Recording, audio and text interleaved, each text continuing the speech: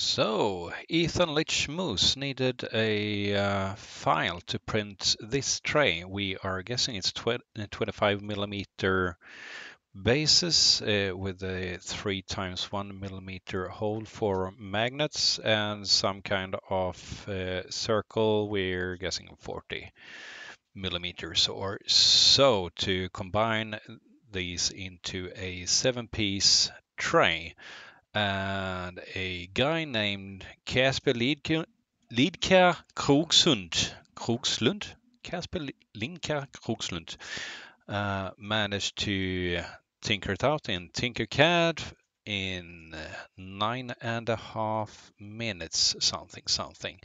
And I thought I might give it a try to uh, beat that time in Tinkercad. See here, Tinkercad is loading up. We'll do a new 3D design. Oh, uh, where did I? There is a timer.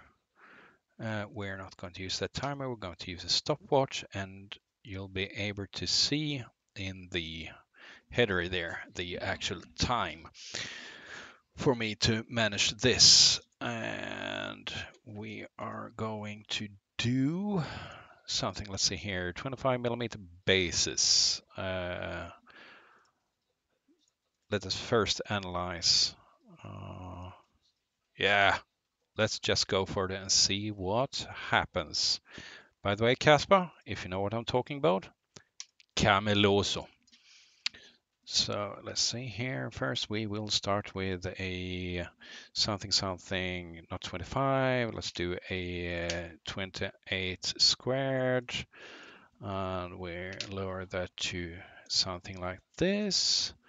Uh, and put that in the center. Now we have a base version. And since a 25 millimeter will be way too uh, large, uh, tight fit if we do exactly 25 so I will give millimeter extra space to do that. And let's raise it two millimeters off center. Move that to the side and then we will have a three millimeter center piece.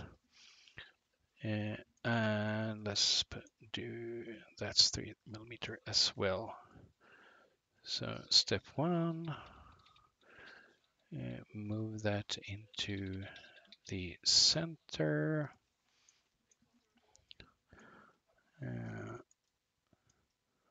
uh, we need to make that half millimeter steps. So, so that is in the center and see here one millimeter up and then the trick we will do that roughly 3.1 millimeter that size. That way it will uh, be able to fit the magnets without being a too tight fit. And we will make these parts together. So we merge those two holes to stand out that for now Excellent. Uh, now we need a 40 millimeter square where everything should be evolving around. That is centered there. Excellent. And let's check the reference. Uh, oh, of course uh, height 4. Thank you. We will copy this and make one of those in the center. Is that square center? Yes, it is. And how far out should this be? Let's say uh, what is 0.5 inch in millimeter? That's 12, so it's half an inch away. So let's make this square 1, 2, 3, 4, 5, 6, 7, 8, 9, 10, 11, 12. Uh, that is excellent, but that's not five. Something's off.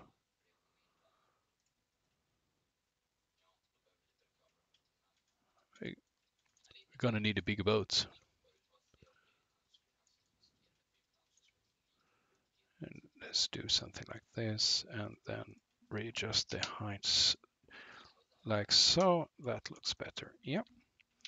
Copy paste this and match that one. 1, 2, 3, 4, 5, 6, 7, 8, 9, 10, 11, 12. Excellent. 1, 2, 3, 4, 5, 6, 7, 8, 9, 10, 11, 12. Now they are just, uh, now we can copy paste those and just that what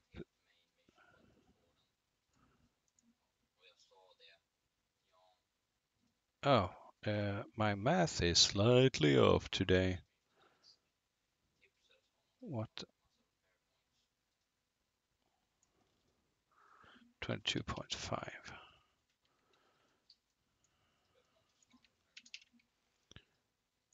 and it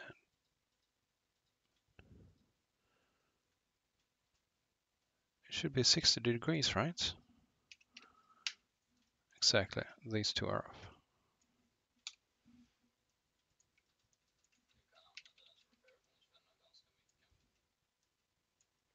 So minus 60 degrees. Uh, now this tray should be exactly what we are looking for and time 525 526 uh, that is the 725 meter tray. I can't spell had a glass of wine everything's perfect. Now we're exporting that STL